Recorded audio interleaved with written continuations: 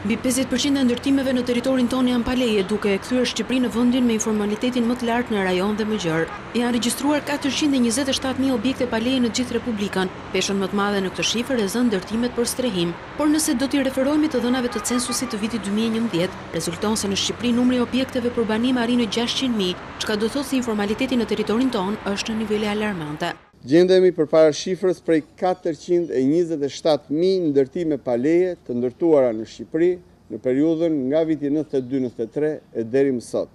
Katërqind e njëzet e shtatë mijë ndërtime pa leje.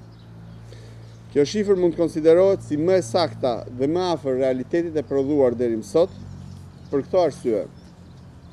Në shifrën e mësipërme, Nuk përfshihen vetëm ndërtimet pa leje të shtuara në vitet 2013-2014, kur u bë ligji i ri, dy ligjet e fundit që kanë përfshirë ndërtimet pa leje, por dhe një masë e madhe ndërtimesh të shtrira goxha në kohë, për të cilat nuk ishin deklaruar asnjëherë nga qytetarët, që prej viteve dy mijë e këtej. Muaji janar shënoi edhe mbylljen e procesit të vetëdeklarimeve për objektet e ndërtuara ndër vite, por duke marrë në konsideratë faktin se një pjesë e ndërtimeve janë legalizuar, sërish, shifra që mbetet në proces, është e lartë.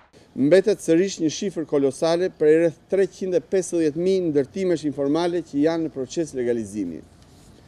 Kjo gjë bën të domosdoshme rishikimin e të gjithë strategjisë sonë në përballimin e problemit, duke rishikuar strukturat tona në terren, duke rishikuar mënyrën e operimit me qytetarët. Pas përmbylljes së këtij procesi, grupet e ALUIZNI-t, sikundër kanë deklaruar, do të shkojnë në çdo shpi për të bërë matjet dhe për të dhënë më pas lejen e legalizimit.